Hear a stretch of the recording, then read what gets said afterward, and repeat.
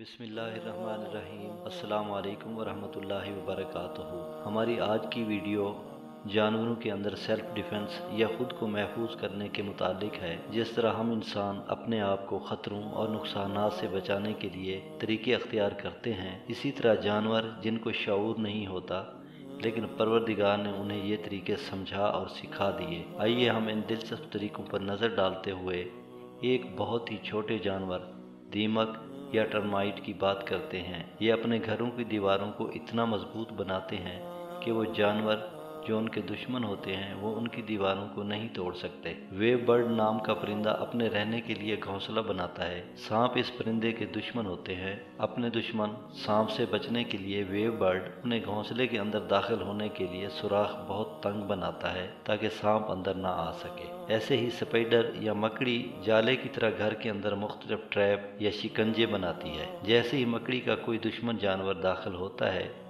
वो इन ट्रैप्स में फंस जाता है। अब शहद की मक्खी की बात करते हैं। ये अपने हाइव या छत्ते के अंदर सिर्फ़ अपनी फैमिली की मक्खियों को दाखिल होने देते हैं। छत्ते की हिफाजत के लिए सिक्योरिटी गार्ड्स मक्खियाँ मुकर होती हैं, जो अपनी जान पर खेल कर अपने घर की हिफाजत करती हैं। बीबर नामी जानवर अपनी सिक्योरिटी के लिए अजीब तरीका अपनाता है। ये अपने घर पानी के अंदर बनाता है और घर में दाखिल होने के लिए एक खुफिया सुरंग बनाता है। इस खुफिया सुरंग के मुतालिक सिर्फ़ बीवर नामी जानवर ही को मालूम होता है और दूसरे जानवर इसे नहीं ढूंढ सकते, जबकि बीवर अपने बच्चों के साथ महफूज तरीके से अपने घर के अंदर रहता है। इन मालूम को जानने के बाद आइए गौर करें कि ये जानवर अपनी हिफाजत के लिए ये तरीके कैसे अख्तियार करते होंगे। उन्हें कैसे पता चलता होगा कि उनका दुश्मन कौन हो सकता है? गौर करें, ये वीडियो बनाने से पहले मुझे इन तरीक़ों का इल्म नहीं था। आपको भी शायद इसका इल्म ना हो, जो कि मुख्तलिफ़ किताबों से सर्च करके हासिल किया गया। लेकिन इन जानवरों ने कौन सी किताब पढ़ी होगी, जिसने उन्हें शिकार करने